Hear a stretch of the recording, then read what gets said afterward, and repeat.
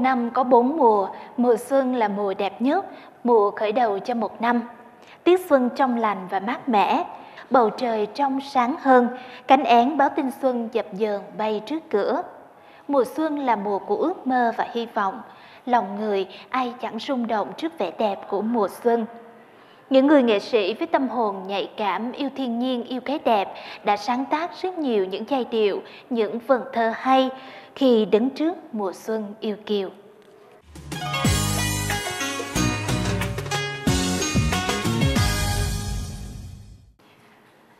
Xuân kỷ hợi năm nay, mời quý vị và các bạn cùng xem và lắng nghe những văn nghệ sĩ tỉnh nhà chia sẻ cảm xúc của họ về những tác phẩm họ đã viết về mùa xuân và thành phố ngàn hoa. Nhưng trước hết Hương Thanh xin được giới thiệu cùng quý vị và các bạn những vị khách mời tham gia buổi gặp gỡ mùa xuân hôm nay. Xin được trân trọng giới thiệu sự có mặt của nhạc sĩ Dương Toàn Thiên. Xin được trân trọng giới thiệu nhà thơ Nguyễn Thị Thanh Toàn.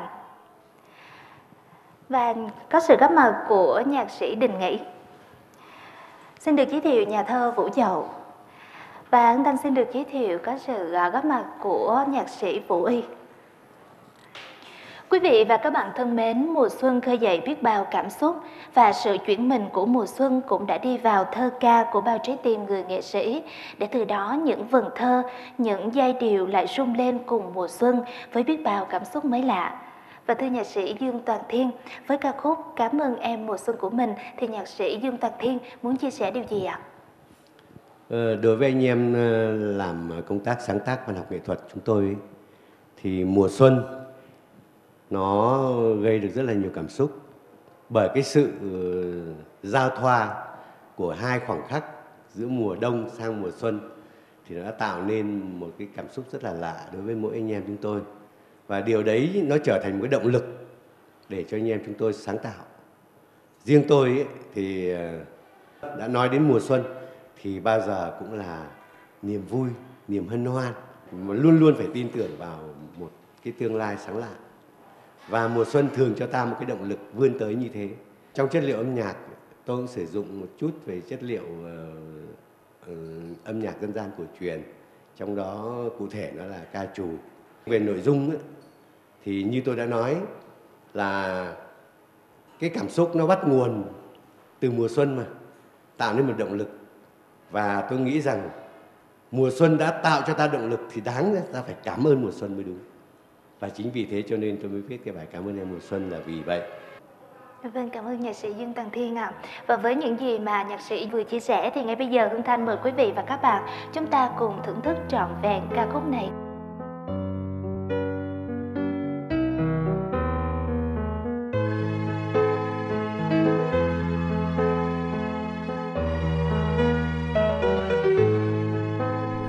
Trao dâng bát ngát đất trời. Em như hạt sương lúng linh sang ngời. Nhìn theo cánh én bay, tình xuân thêm ngất ngây. Hoa giao đất trời, bạn tình ca nồng say. Hoa yêu mùa xuân dương hướng cho đời. Ta yêu mùa xuân thế, yêu bao người. Mùa xuân em đắm em ngất ngây hội vui đã hẹn cùng mùa xuân về đây. Em đi trong nắng xuân lòng lanh anh mắt cười, lòng sao xiên rộn ràng có em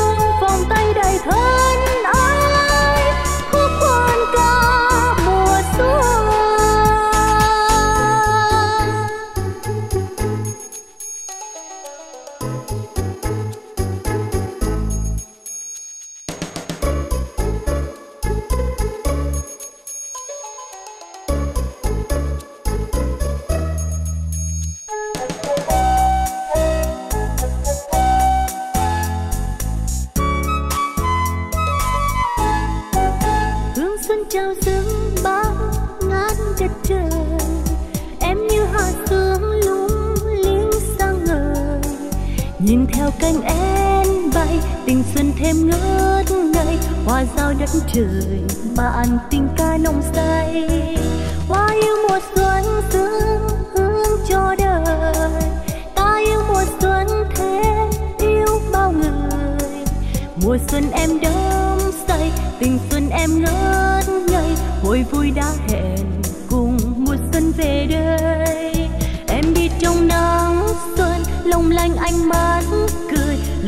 duyên rộn sang có em xuân ngơi.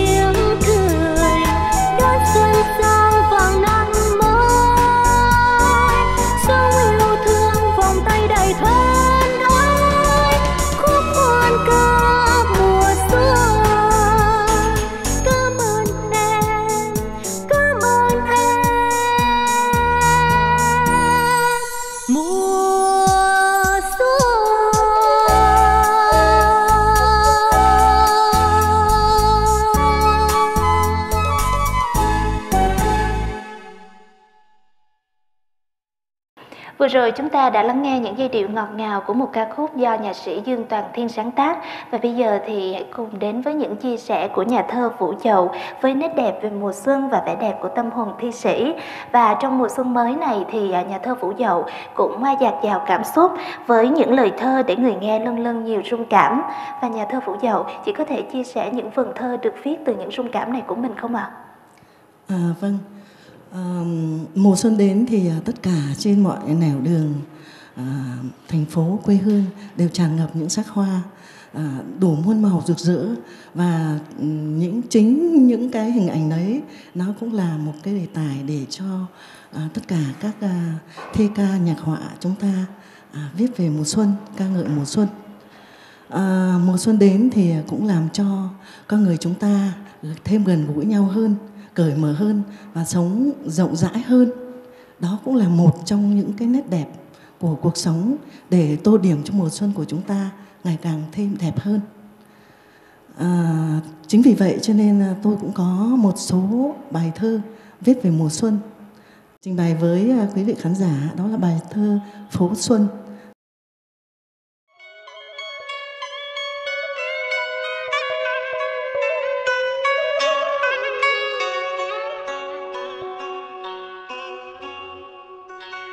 về lộc dắt đầy tay, Chim ngân từng giọt rơi đầy phố hoa.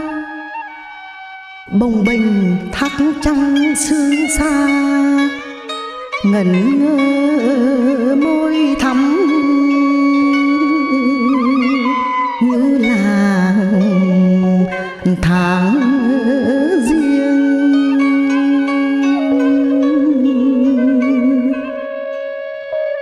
vàng hương sớm đông sương.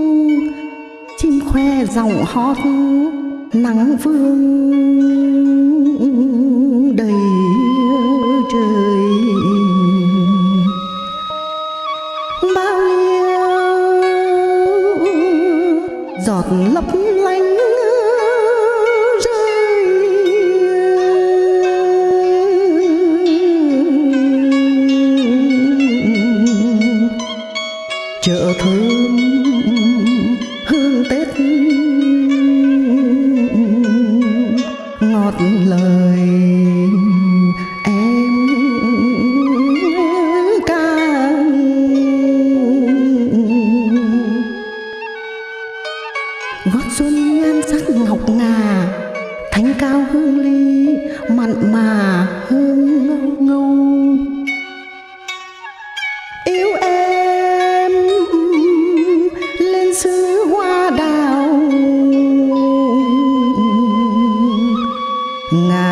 outside.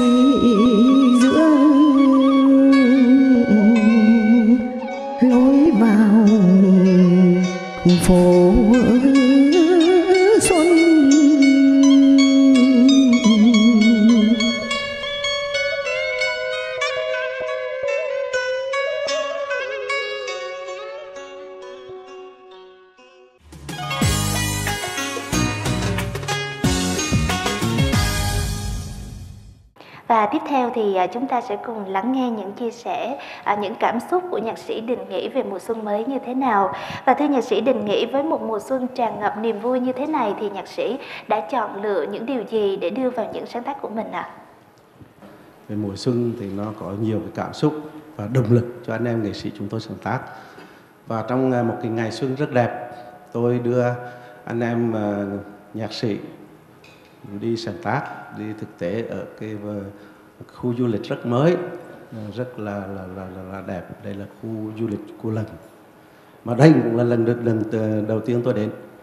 Thế thì dựa một cái khung trời tuyệt mộng như thế có cây hoa lá bừng nở rồi thì những cái con suối rồi tán thông những cái đồi cỏ nó cứ dập dìu dập dìu như thế thì tôi mới viết cái bài là bồng bềnh trắng bông trời em nghiêng trăng nghiêng đồi nghiêng nghiêng mùa cháy để thấy rằng là lâm đồng, đà lạt dưới chân lộ lang biang là một cái vùng sinh thái hết sức là tuyệt đẹp.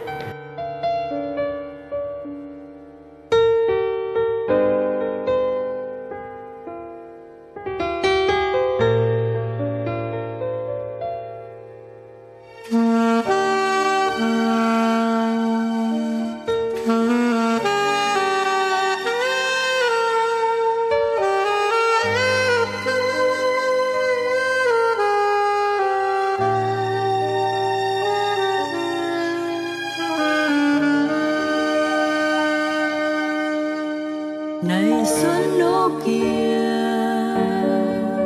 một cọng lá cong đôi ngọn cỏ dập dối tháng riêng em nghiêng trăng nghiêng bà nghiêng nghiêng mùa trái. Này xuân nô kia bồng bềnh trắng bông trời dịu nở nụ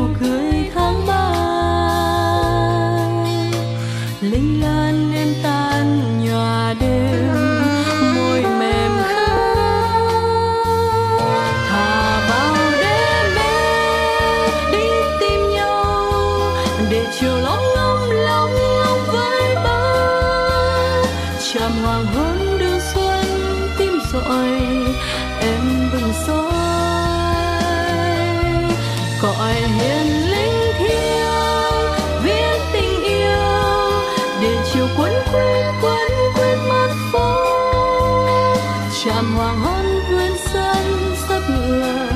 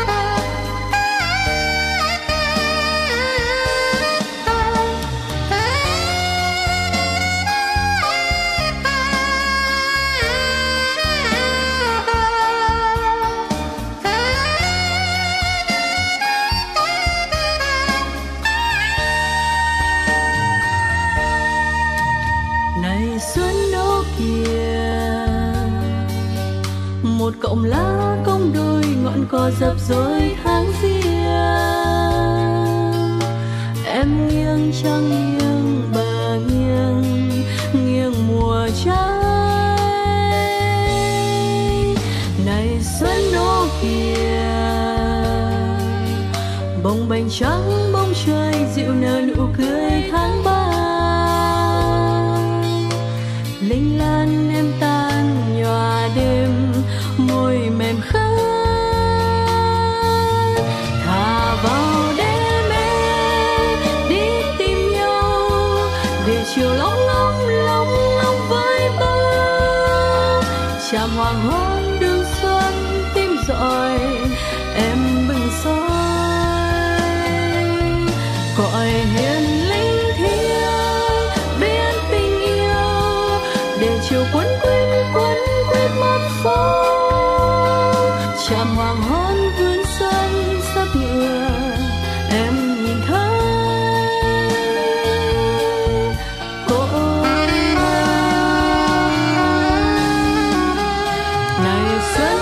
hiền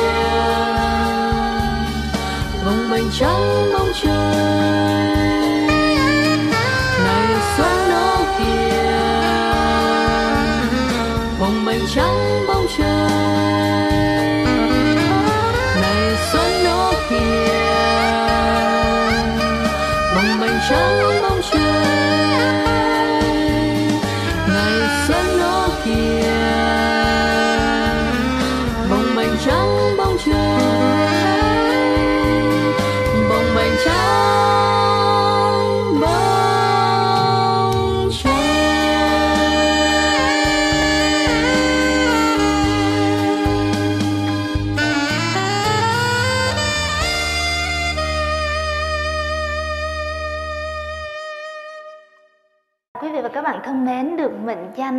thi sĩ của sắc màu bởi đơn giản nhà thơ Nguyễn Thị Thanh Toàn rất là yêu thơ. Những tia nắng sớm bình minh hay những áng nắng vàng chiều đã đi qua trong cuộc đời mình để chị viết thắp lên những tình yêu và mơ ước đẹp trong cuộc sống. Và mùa xuân là mùa của ước mơ và hy vọng, nhưng với riêng nhà thơ Nguyễn Thị Thanh Toàn thì mùa xuân còn như là những miền nhớ về những gì đã qua cũng như là những vẻ đẹp đang hiện hữu. Có đúng như thế không thưa nhà thơ? Thực ra thì mùa xuân đối với tôi cũng như đối với các bạn, chắc đấy là một cái mùa giao thoa của các cái làn hương, cây, hoa lá đều ừ, tỏa sắc, đều khoe hương và đều có cái tiếng nói thì thầm riêng của mùa xuân. Chẳng hạn, những cái giọt mưa xuân tí tách ở trên lá cũng là cái tiếng nói riêng của những cái hạt mưa đối với đất trời sự sao thoa thiên nhiên. Chính cái điều đó thì đã đánh thức ở trong lòng tôi những cái khao khát về một cái mùa xuân mới sẽ là tươi đẹp hơn mùa xuân cũ. Vốn có có thể nói là à, chính cái mùa xuân đã dẫn dụ chúng ta nhích lại với nhau hơn. Và mùa xuân có thể là mùa tiếng nói của tình yêu tình yêu thầm lặng ở trong mỗi con tim. Với tôi mùa xuân cũng ngẫm lại để à, đó đúng là một mùa nhớ. Nhớ lại tuổi thơ của mình những năm tháng ở quê với những cánh đồng mơn man xanh mướt ngô lúa khoai của những cái vùng sông đáy xanh vời vợi trong xanh nuôi suốt một tuổi thơ mình. Sau này nữa được gặp gỡ xuân cao nguyên với những ngọn lửa với những điệu múa điệu nhạc dân tộc. Đó là cái nôi để nuôi dưỡng cái tâm hồn của nhà thơ và của mọi người yêu thơ dạ. trong mùa xuân này tôi cũng có một bài thơ viết về xuân cao nguyên đó.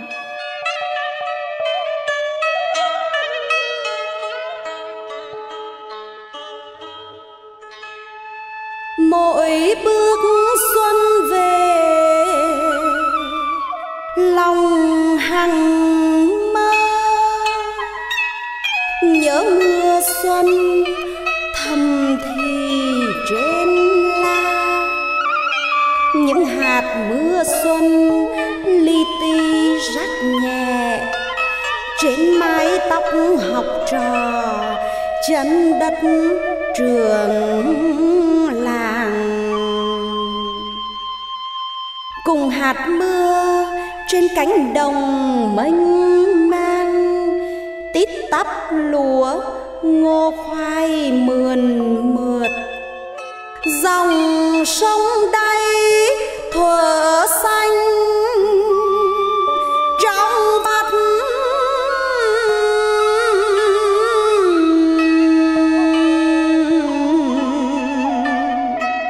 Nơi tuổi thơ đầy ắp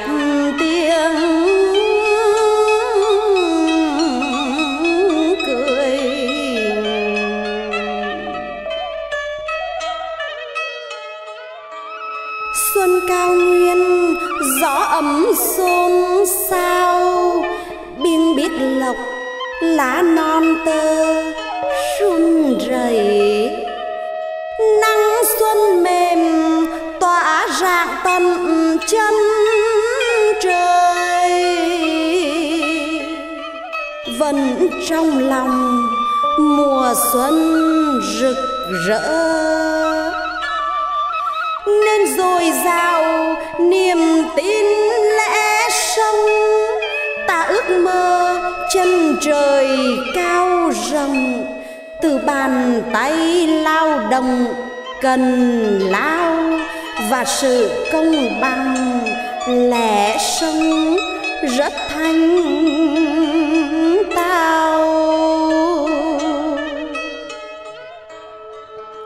Dưới trời xuân, hoa muôn sắc ngọt ngào. Gặp bao cánh ong bay tìm mật. Ong say đắm bên hoa ngàn sắc. Ta say sưa ngợi ca lao động trước tình yêu. Cuộc sống ơi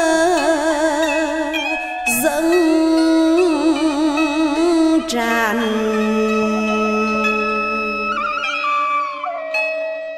Đây đồi trà xanh, lớp lớp tầng chân mây. Cầu đất xuân, hoa mận trắng tinh khôi. Như hò hẹn ngày xuân tình từ. Huệ cúc mai lan, nở bên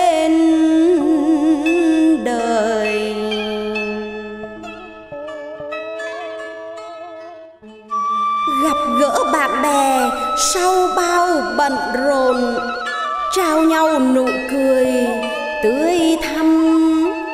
Như bích đào rực rỡ đón xuân. Trao ánh mắt huyền như ngọn nguồn con suối, như nước hồ xuân trong vời vời. Là xuân đến phút thiêng liêng, mong đời xuân ùa về, phút giao thừa ấm áp, bánh tét, bánh trưng ngũ quả rượu nồng. Đón mùa xuân an lành, hạnh phúc, đến từng cuộc đời từng khắc xuân sang. Hoa đời thắm bên mai vàng bên chặt. Ôi mùa xuân, cao nguyên thấm đẫm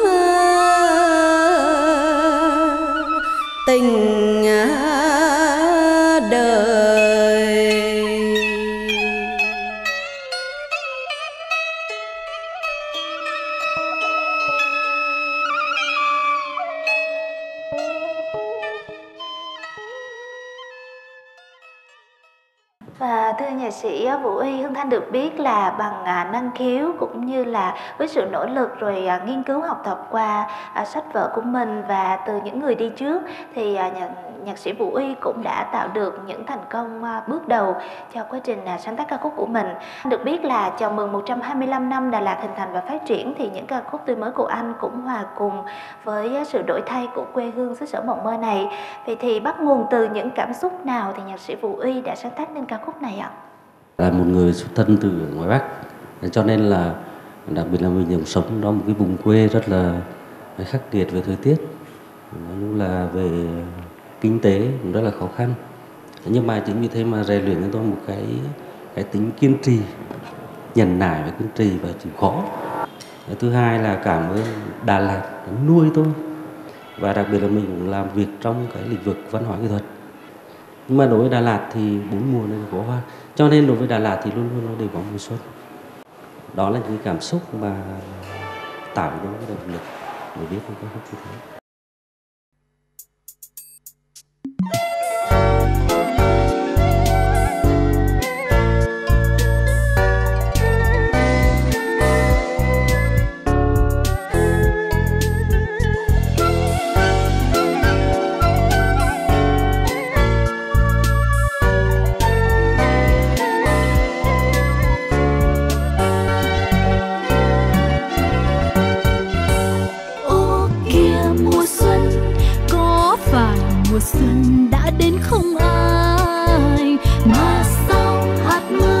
ngầu hứng lất phất mai vàng khắp nơi.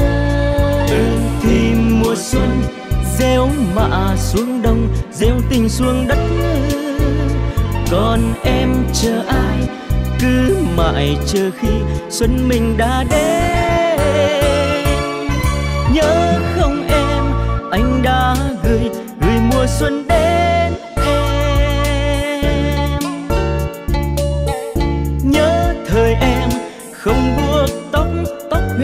chạm gót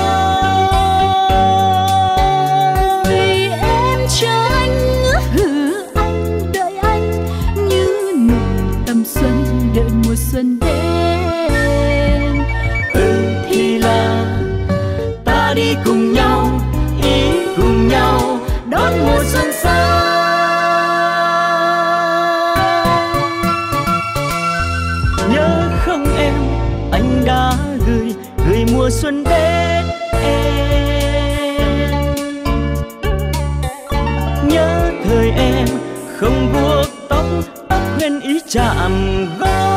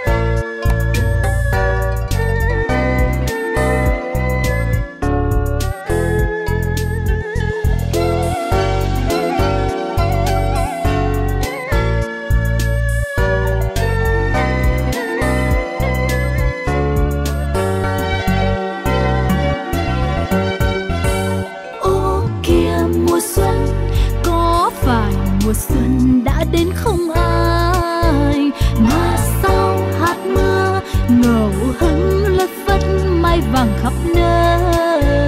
Ừ thì mùa xuân gieo mạ xuống đông gieo tình xuống đất còn em chờ ai, cứ mãi chờ khi xuân mình đã đến.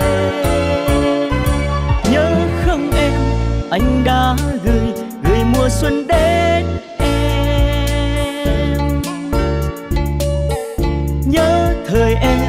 không buộc tóc tóc khuyên ý chạm gót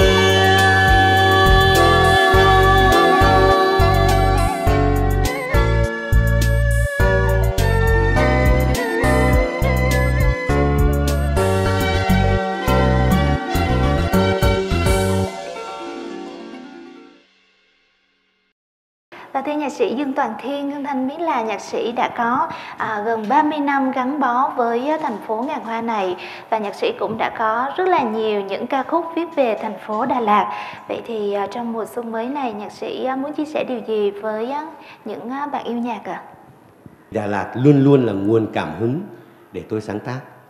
Tôi còn sống thì những sáng tác về Đà Lạt của tôi sẽ vẫn dần dần được sinh ra và tôi nghĩ rằng đến một ngày nào đó thì, ừ, những cái ca khúc ấy được vang lên và tôi hy vọng là nó được tồn tại cùng với thời gian. Nhân dịp năm mới, ừ, ngoài những cái tác phẩm âm nhạc hay là những vần thơ mà anh em chúng tôi kính dâng như một món quà đầu xuân thì tôi cũng xin gửi tới tất cả các bạn xem đài, nghe đài của Đài Phát thanh Truyền hình Lâm Đồng một lời chúc năm mới sức khỏe dồi dào, vui vẻ và luôn luôn thành đạt. Vâng, cảm ơn uh, nhạc sĩ Dương Tần Thiên ạ. À. Và chắc hẳn là uh, với những uh, vần thơ mà nhà thơ Vũ Dậu đã gửi đến chúng ta khi nãy thì chúng ta có thể cảm nhận được mùa xuân với rất là nhiều những kỷ niệm đẹp trong vần thơ của chị. Và với mùa xuân mới này thì nhà thơ có gửi gắm tình cảm gì đến người yêu thơ ạ? À? Nhân dịp đầu xuân năm mới thì tôi cũng xin kính chúc toàn thể quý vị khán giả cùng các bạn yêu thơ một năm mới tràn đầy niềm tin yêu trong cuộc sống, hạnh phúc và thịnh vượng. Với nhạc sĩ Đình Nghĩ với những cái thành tựu và những thành công mà đã đạt được trong năm vừa qua thì trong năm mới này chi hội âm nhạc Lâm Đồng sẽ có những hoạt động gì ạ? Trong năm vừa qua, chi hội âm nhạc ờ, của tỉnh chúng ta đạt rất là nhiều thành tích mà phải nói là thành tích vang dội đấy. À, trong năm mới thì Liên hoan âm nhạc 2019 tại thành phố Hồ Chí Minh mà chương trình này là chương trình từ Đà Nẵng trở vào cả miền Nam chúng tôi sẽ chọn lọc một số tác phẩm trong trong một số anh em của chúng tôi tham gia liên hoan âm nhạc của phía Nam trong năm 2019. Vâng, cảm ơn phần chia sẻ vừa rồi của nhạc sĩ Đình Nghĩ và Hương Thanh xin chúc cho chi hội âm nhạc Lâm Đồng của chúng ta trong năm mới này cũng gặt hái thêm nhiều thành công hơn nữa ạ. À. Và với nhà thơ Thanh Toàn, à, trước mùa xuân mới với rất là nhiều cảm xúc trong các phần thơ của chị như thế thì chị có muốn gửi gắm điều gì đến quý vị khán giả đang theo dõi chương trình không ạ? À? Ờ, nhân dịp đầu năm mới, tôi xin phép được kính chúc sức khỏe của các ừ, quý vị xem và nghe đài. Ờ, một năm mới thật an khang, thắng lợi và nhiều may mắn. Vâng thưa quý vị và các bạn, một mùa xuân với thật nhiều cảm hứng sáng tạo cho người nghệ sĩ. À, trong đó thì nhạc sĩ Vũ Y đã đưa những giai điệu đẹp của mình vào những giấc mơ. Vậy với mùa xuân mới này thì nhạc sĩ Vũ Y mơ gì ạ? Tôi mơ ước làm sao mà những cái à, vùng sâu vùng xa của Việt Nam á, đặc biệt là những cái trẻ em đó có một mùa xuân thật là ấm no cầu chúc cho mọi người trong gia đình à, cũng như bạn bè và đặc biệt là những người thân thì à, một mùa xuân thật là an lành bình an và gặp nhiều may mắn. Xin cảm ơn những vị à, khách mời đã tham gia à, chương trình thơ nhạc mùa xuân của Đài Phát thanh truyền hình Lâm Đồng ngày hôm nay và xin kính chúc những vị khách mời của chúng tôi có thật nhiều sức khỏe, gặp nhiều may mắn và trong năm mới này sẽ có thêm nhiều những ca khúc hay, những vần thơ hay, nhiều ý nghĩa và dạt dào cảm xúc để gửi đến những à, bạn yêu thơ và yêu nhạc của tỉnh nhà. Thưa quý vị và các bạn, một năm mới với biết bao nhiêu điều mới lạ và với những lời ca trữ tình của các nhạc sĩ, những vần thơ say đắm lòng người của các nhà thơ đã giúp cho chúng ta có thể cảm nhận đầy đủ hơn về cuộc sống đáng yêu xung quanh mình để từ đó nâng niu và trân quý hơn nữa những giá trị đích thực của cuộc sống này. Kính chúc quý vị và các bạn có một mùa xuân mới ấm áp, hạnh phúc và bình an để có thể đón nhận hết tình yêu thương của người thân và của cuộc sống.